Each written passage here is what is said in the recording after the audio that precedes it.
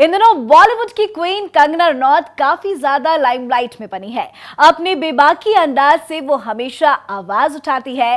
कंगना के वीडियोस हो या ट्वीट्स तहलका मचा ही देते हैं। लेकिन इस बार कंगना के ट्वीट ने हंगामा कुछ ज़्यादा ही मचा दिया है। जी हाँ कंगना ने ट्वीट करते हुए कृषि बिल का विरोध करने वाले किसान की इंसल्ट कर दी, जिसकी वजह से दर्ज हो गया है कंगना के खिलाफ क्रिमिनल केस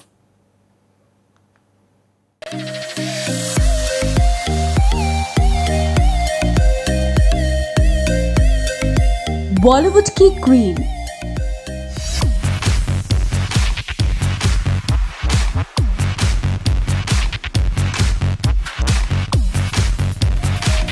फ़िल्म इंडस्ट्री की रिवॉल्वर रानी, सबसे पंगा लेने में माहिर। कम बैक कर सकती हो।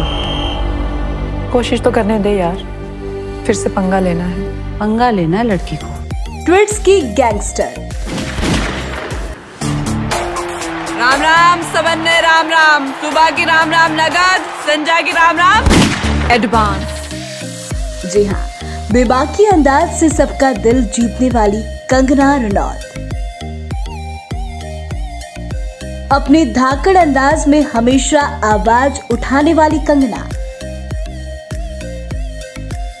बात चाहे सुशांत केस की हो या बी टाउन में ड्रग्स कनेक्शन की फेमिनिज्म की हो या नेपोटिज्म की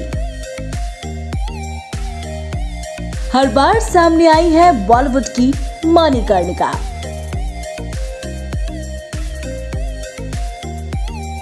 पर इस बार कंगना के लिए मुश्किलें खड़ी होती दिख रही हैं। कृषि बिल का विरोध कर रहे किसानों का अपमान कर बैठी है कंगना। किसानों ने कंगना के एक ट्वीट के खिलाफ प्रदर्शन किया है। दरअसल कंगना ने ट्वीट कर लिखा,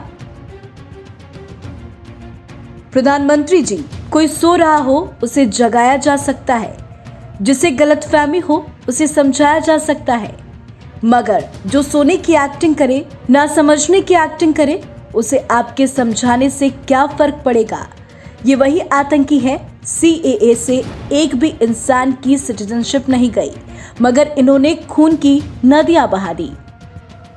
कंगना के इस ट्वीट के बाद विवाद इतना बढ़ गया कि उन्हें गिरफ़्तार करने की मांग उठने लगी। सोशल मीडिया पर लोगों का कहना था कि कंगना ने किसानों को आतंकी कहा है। इस ट्वीट को लेकर कई जगह किसानों ने विरोध प्रदर्शन भी किया। इसके बाद सफ़ाई देते हुए कंगना ने कहा, उन्होंने किसानों का अपमान नहीं किया। कंगना ने ट्वीट कर लिखा सी को लेकर जो गलत सूचनाएँ और अफवाह फैला रहे थे, जिसके कारण दंगे हुए वही लोग अब किसान बिल को लेकर गलत सूचनाएँ फैला रहे हैं और राष्ट्र में आतंक पैदा कर रहे हैं। वो आतंकवादी हैं। आप अच्छी तरह से जानते हैं कि मैंने क्या कहा, लेकिन कुछ लोगों को गलत सूचना फैलाना पसंद है।